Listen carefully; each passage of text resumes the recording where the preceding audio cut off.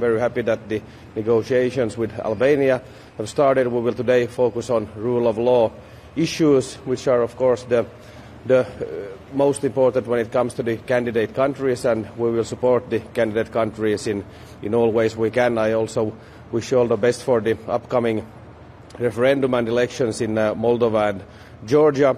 Yes, there are, of course, things to do, but when we read the reports, I think that there has been uh, many things already done. And of course, today in the discussions, we will focus on, on rule of law issues. But I think it's good that we have now come this far and looking forward to the discussions.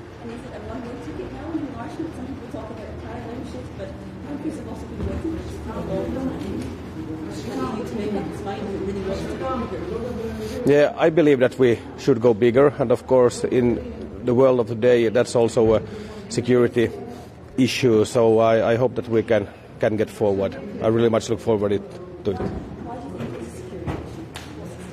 Well, in this geopolitical situation we have today, I believe that the more countries we have with, uh, as part of Europe, as part of European values, as part of the single market, it's good for the people, it's good for the businesses, good, it's good for security.